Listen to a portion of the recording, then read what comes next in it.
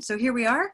Welcome to today's, this evening's, this morning's uh, session with Blue Canoe and Color Vowel. I'm Karen Taylor. This is our Thursday night gathering of teachers and learners together. This is a beautiful type of gathering because uh, the teachers get together fairly regularly. And then once a month, we have our learners and our users of Blue Canoe in the room. So if you are a uh, learner, user, welcome. We're so glad to have you. Uh, tonight's topic is the question of three colors on the chart that have attracted you to the session. And so let's start up with the chart, warming up, and then we'll move into that topic. Okay? Um, so please, all of us are muted, uh, but repeat after me. You can take out your dominant hand. We're going to use it to focus our mind's attention on the vowel sound in each anchor phrase. So here we go. I'll point to me and I'll point to you. Listen, repeat. Green tea, E. Green tea, E. Silver pin, I. Silver pin, I. Gray day, A. Gray day A. Red pepper eh. Red pepper eh.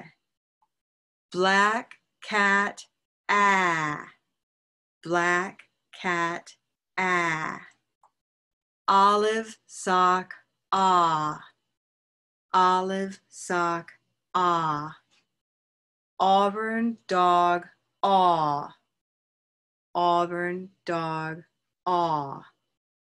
Turquoise toy. Oi turquoise toy.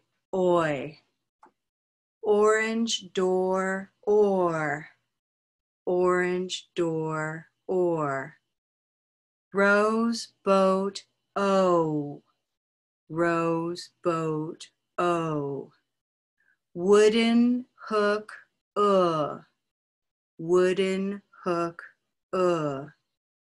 Blue moon, ooh. Blue moon, ooh. A cup of mustard, ah.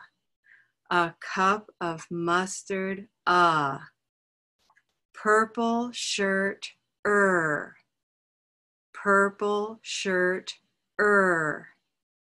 White, sorry, brown cow, ow, brown cow, ow, and white tie, I, white tie, I. Great. So this is a standard warm up that we like to lead you through each time we meet. It reminds us of the vowel sounds of English and gives us some time with each sound. And each time we do this, we can maybe notice something new about our experience with these sounds. And whether you're a learner of English or a native speaker of English, we will all have a relationship with these sounds of some kind or another. Good. Now, um, as we move along, I'll ask Liz, I'm going to further deputize you to ask burning questions that come up in the chat. Okay. okay. And that means for everybody, if you have a question uh, for the moment, Liz will be watching those questions and will raise them with us so we can answer them. Okay. Thank you so much. So tonight's topic, let's spend a moment looking here. Um, its title is one that I chose with some purpose. Uh, title of tonight's talk is Olive and Auburn and Orange, oh my. And if you don't already know the reference to this phrase of this and that and the third thing, oh my, it is a movie reference. So I'll share the movie reference just for some fun.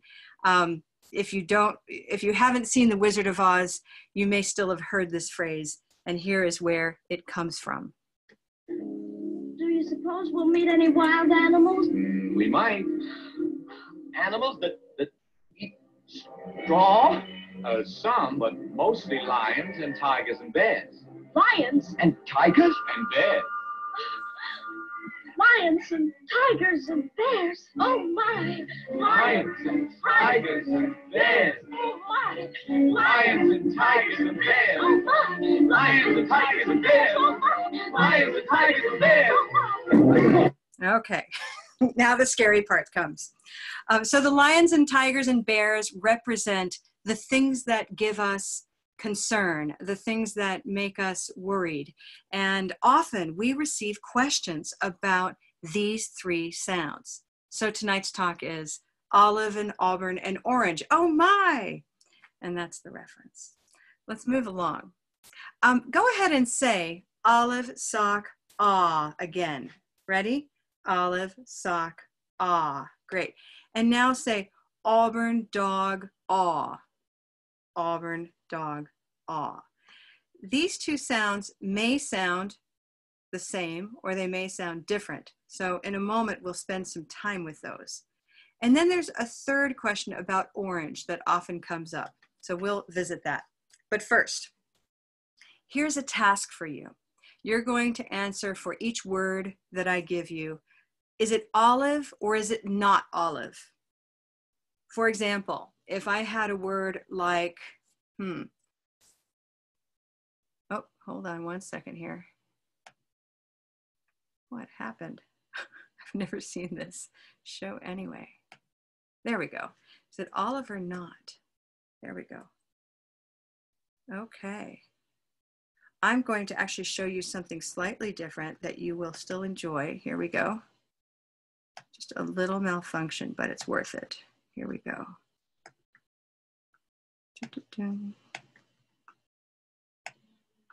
All right, so here we are. I'm going to give you these words and you're going to decide, is it olive or is it not olive? Call. I want thumbs up for olive and thumbs down for not olive, okay? And I'm gonna do my best to see as many people as I can. Oh, I see the whole room. This is beautiful. So thumbs up if call is olive and thumbs down if it's not. And I want you to also look at everybody in the room. If you can, try to scroll through the faces and see, is it thumbs up, thumbs down? So I see some up. Do you see that? See how some people are up and some are down? Can I tell you that you're all correct? Yeah, You're all correct. So, and I truly mean that. I'm not trying to make anyone just feel good. I mean it, that you are right. Um, for some of you, call matches with olive sock. And for some of you, call does not match with olive sock. And the difference is not whether you speak English as a first language or second language. It has to do with other factors. Okay? So I'm going to pick right now I'm going to pick one person to follow, and I know who I'm going to pick. I'm going to pick Dr. Robin Barr over here. Uh, everybody say hello to Dr. Robin Barr. Dr. Robin Barr is from Chicago. Uh, she has a different accent than mine, and That's so Chicago. Auburn Chicago. Dog, Chicago. Yes. Exactly. Good. So she's from a part of the country that I'm not, and she's a really good example of a different accent than mine, and than some others in the room. So Robin, um, so everyone said call and we did this. Robin, for you, is call Auburn or not um, olive or not olive? Not olive, it's Auburn. Okay, great. So right now, it's just a question of is it olive or is it not olive? Okay. Okay, Okay. everybody. This is just everybody, not just Robin. Top is the word top olive or not olive? Olive. Okay, look around the room. I don't see any thumbs down, right? That was pretty fast. Okay, so we all kind of agree, don't we, that top is an olive word. Okay, I'll put that there. How about problem? Problem. Problem. Does it match olive sock problem? Are they all the same? Thumbs up if yes, thumbs down if not. Problem. Olive Olive sock sock problem. Great. Um, Neil, could you say olive sock problem for us? Olive sock problem. and is that olive for you? no, Yes, it is. for him, yes. Yeah.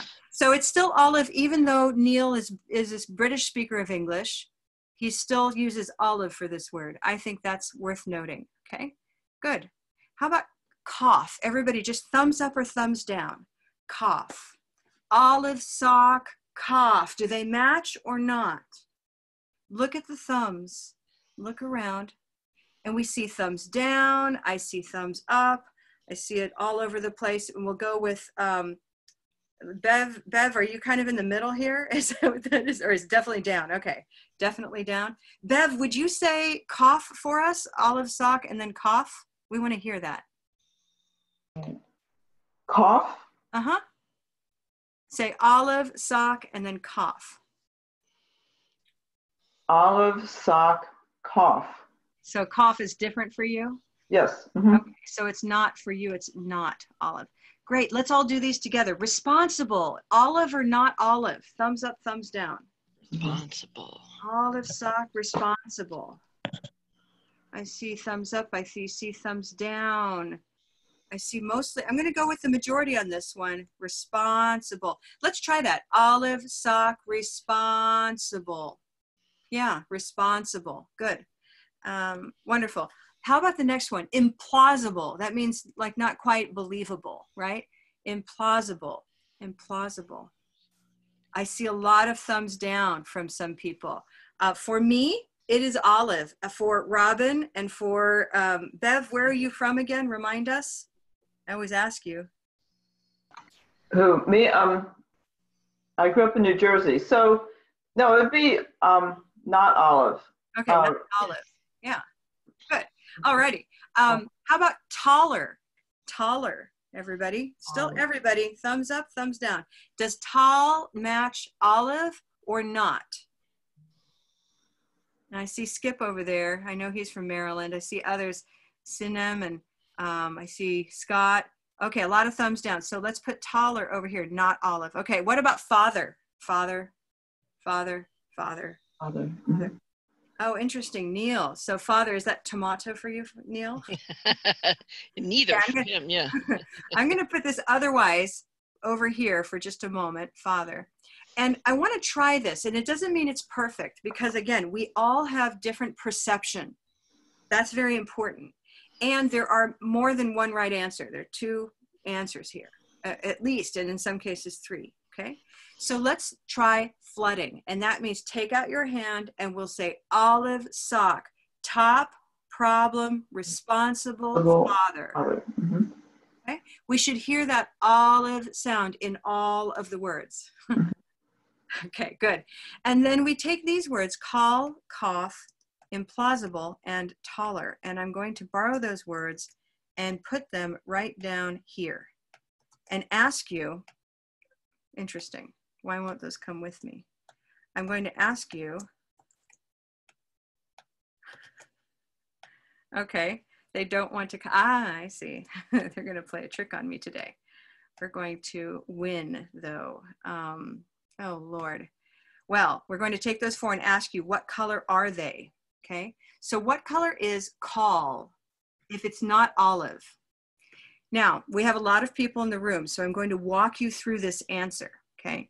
If the word call that was here, call, is not, in fact, olive, it's going to be another color on the chart. And I'm going to do my best to give this a color, see what we can do here. Oh, let's not play with this. So call will end up being this sound here called Auburn dog. Now I'm going to say this word with just my mouth and no voice. So we have olive, sock, and Auburn dog. Ah, aw, ah, aw. Is that pretty good, Robin? It's okay. So what's happening here is if you look on the chart, you'll notice this is a gray line. And for some speakers of English, these are the same sound. For some speakers of English, these are both one sound. And in Blue Canoe, that's why we only give or olive as a sound because you can master olive and you will be understood in English. And it's correct for learners, for speakers too. So I'm from a part of the United States in North America where I only use olive. I don't use this other sound. Okay, some others, yeah, some others use it. So, Robin, you want to add? Uh, you do use the sound, you just don't think you do. There we go. So when I said all a little bit earlier, I actually used Auburn. Um, Yes, I'm not. I'm not aware of it. It's a very complex idea for a learner of English that uh, there are different variations of a sound. But that's how I want you to think of it if you're a learner, a user of Blue Canoe. Um, that we might have this variation, but Olive is functional for everybody. Okay. Um, so then the next question comes, and we'll take questions here, by the way. The next question I have for you is another sort of guessing game, and I'm going to show you the game. Here's the game. Is it rose or is it not rose? That's my question for you. So now you'll listen to words and tell me, is it rose or not rose? And I'm watching you for thumbs up and thumbs down. And we will go with the majority vote, if I can, okay? Here we are. Nose. Is it rose or not rose? Rose, boat, nose. Matches. Okay, so I see a lot of yes. Cold. Rose, boat, cold. I love watching. I'm watching Sinem. I see others sort of thinking and listening. That's what I, I'm looking for is really listening. Yes, cold is also rose.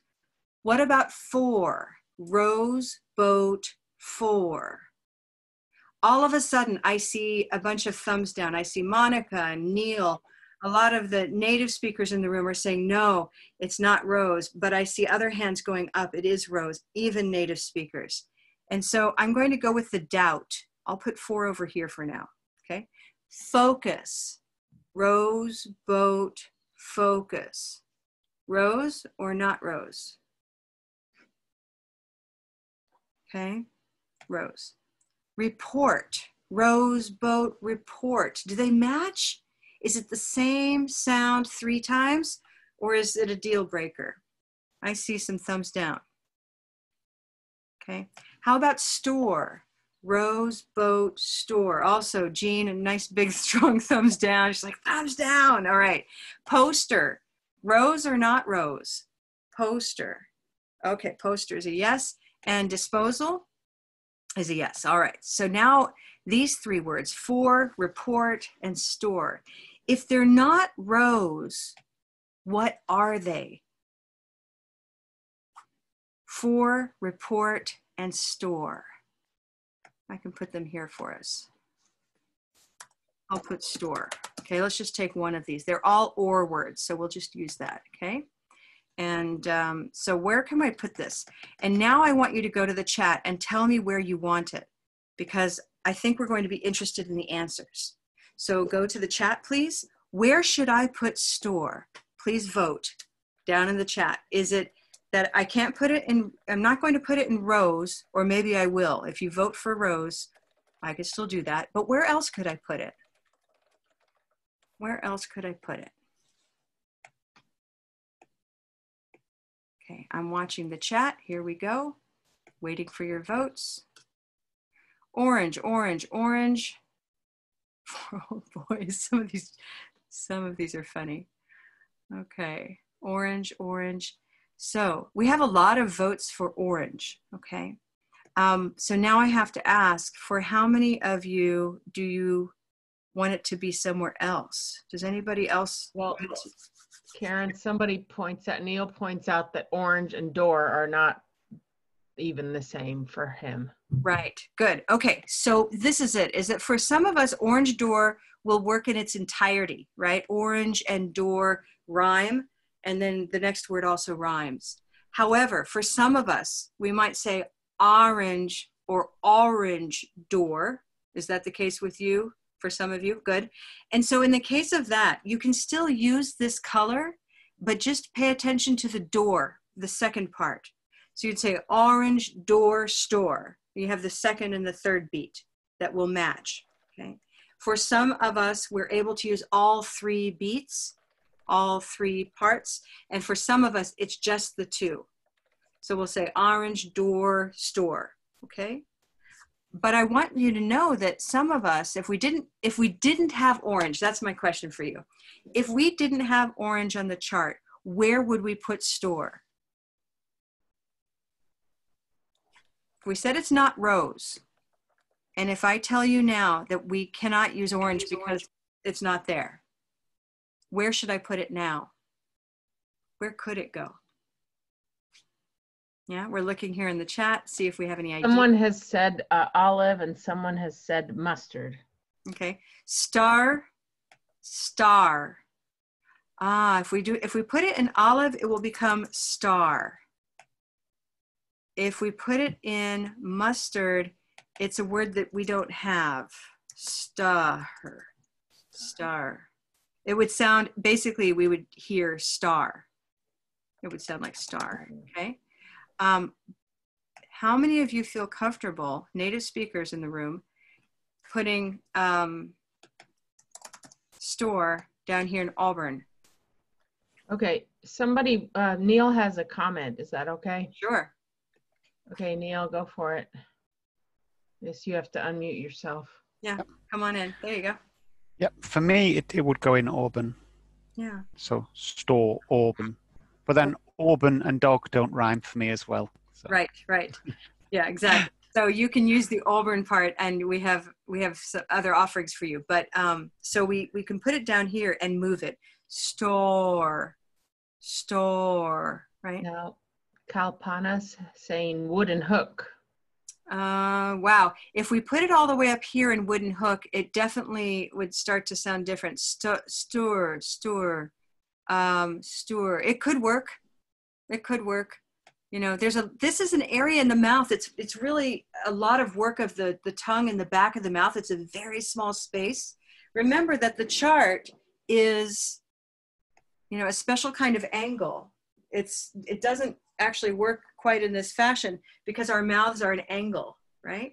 So back here in the back of where our mouths shut and open, this is a very cramped space and the tongue is doing a great deal of work to manipulate the space. So yeah, this is, a lot of this is very possible. Store, stower, store. I won't use stoyer, stoyer, no, Yeah. not so much. Not that. Store. You hear how all of these are actually very plausible. Okay. Orange came into the chart, everybody, because students and learners kept asking for it. Uh, many of many English speakers from my dialect uh, can use orange door easily, but it's the learners that kept asking for it to be here. And so we include it in the chart, even though it's not in blue canoe, because what it really is is rose or auburn, depending on the way people speak. And so we have a simple way with the chart to address these R moving sounds. So you can use any of these and they will all work. And if that's a surprising answer, um, you have to remember that there are many right ways to speak English. I'll take questions now. This is a short session and it's, you know, we, we covered a lot. So I do expect some good questions. Let's take a look. There are some interesting comments from the British speakers who say, yes, it's Auburn, but their Auburn is aw and not aw. So yes, you're right. And the reason, and I think, um, who was it? Uh, Jeannie, I, I didn't catch who it was, said, um, why doesn't orange door work the same thing as, I don't know, uh, pear or um, chair, you know, cherry chair or, or something like that. Why don't why do we have one for or but not the corresponding one for air? And the reason is that in North American English, we have a beginning for the air, red pepper air, or possibly gray day air if you say it that way. But we don't have the corresponding sound for uh, in the back for um, o- orange door. We don't have the beginning of the or. It's the same that starts the oi and the o and the or are all the same sound, but we don't have it by itself the way we have the front vowel eh. So that's why some people need a separate orange uh, Yeah, color to make that right. clearer. And so, yeah, I think you know we we want to provide our users and learners tonight with something useful. And what you can know is that we provide you with rose, and it may not feel it, it might work for you, or you may feel it doesn't quite fit. But if you take the if you know that O O O is a moving sound that moves up to blue, O, if you take the movement off of it and instead move it to purple, everyone try that. O, just the position, a rounded O, O, O, and now move it to purple. Or, or. And that is a functional or sound for store, before, more, horse, etc. Okay. So Karen? blue, you'll see a lot of the rose mark there. Yes. We have a question from Orange Door Cora about hmm. how do I best explain this to the students regarding regional accents? I always come back to the statement that there are many right ways to speak and that native speakers speak in lots of different ways. The important thing to remember is we understand each other. And so we're giving you permission to use, take turquoise out of that question there, okay? Because it's shooting across this way, oi. But the others are perfectly useful for any of the R control, anything that's or related. And, and that's kind of how I would answer it the first time. It's not simple because the chart and what we do is to connect speakers of English who speak differently. And that's different from all other pronunciation education in the past that tends to tell you how you should speak. So we're, we're taking a kind of very democratic approach to the way this works. We want to understand each other. We want to and do respect each other. And we can use the chart to describe how we speak and discover how you speak. And if you're a learner, we'll guide you into the possibilities. Store is definitely not a red word. It's not stare because that's a different word. It's not star because that's a different word. It's not steer because that's also a different word. But it can be store, store, stower, store. You could even come up here. And all of this is going to be comprehensible, understood, and, and accepted. Okay. Long answer to a short question. Thank you. Yeah. Um, there's a comment here from Monica. Um, walk and walk. Yeah. So, uh, Monica, I think you are somebody who has the same vowel sound here, right? And so you have only uh, olive in your dialect. Great. Talk to a New Yorker and you will, Grace says. Um, and I didn't catch whose comment it was. Gray says it's a tool to help learn pronunciation, not a ruler to judge whether you're right or wrong. That's right. And so, yeah, teachers, I invite you now. Uh, I know the learners are interested in more than one teacher. Uh, what do you tell your students when they ask about Orange or about Olive and Auburn? You can pick your, your discussion point. Luckily, I. I, te- I teach with more than one person and we have different dialects. So I can say, well, I'm from Chicago, I say it this way. Um, so and so is from Mississippi, he says it that way, and so forth. And having more than one dialect to, to point at uh, means that they understand that there's no single correct version as long as they're like one of us or, or one or the other of us. Exactly. Even our use of the word dialect, we use in a democratic way, meaning all of us speak a dialect of English. Nobody owns the language. It's an international language. And so we have to understand that this, this will have some variation around the world. But we're looking for the piece that's mutual. Okay? Wonderful. Well, I want to thank everybody for coming tonight. It's a, it's a fabulous audience. Uh, we do this uh, every Thursday for teachers, and then once a month, we have a Thursday for learners to come into the room. And if you've looked around the room, you see what a wonderfully diverse room we do have.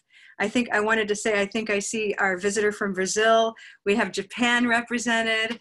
We've got so many places. And I, if you didn't get a chance to tell us where you're calling in from, please put that in the chat. We like to know where you're coming from. Okay. Is the person from Brazil the one who said chef? Brazil chef? I'm very Chef Brazil, yeah. yeah. Uh-huh. Wonderful. Um, where else do we, and as we say goodbye, just please write that in the chat. We look forward to seeing you again. These are always short, they're sweet. We post the recordings up on our website, and you will receive an email with that recording. So thank you so much. Be safe, continue to be healthy, and we'll see you next time. Okay, bye bye, everybody. Thank you. Thank you. Thank you. Bye bye.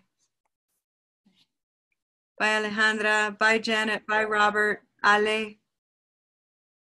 Renu. How. Yui. Christina. Thank you. Goodbye. Bye. Thank you. Bye, Neil. Bye, Karen. Bye, everyone. Goodbye, Thank you. Riyadh.